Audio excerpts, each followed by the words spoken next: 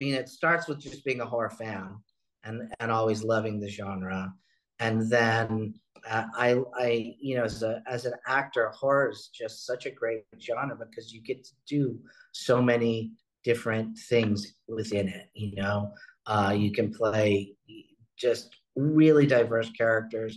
I mean, sometimes you're you're you know playing the bad guy, which I love to do. Probably my you know favorite. I love playing really bad, scary, creepy guys. I don't know why, but it makes me happy. And um, and then you also, you know, I've got another film coming out later this year called The Bellkeeper, where I'm get to play one of the good guys and and kind of a little bit of the comic relief. So um, I just I love what the what the genre allows me to do um, aside from just being a, a huge fan of it.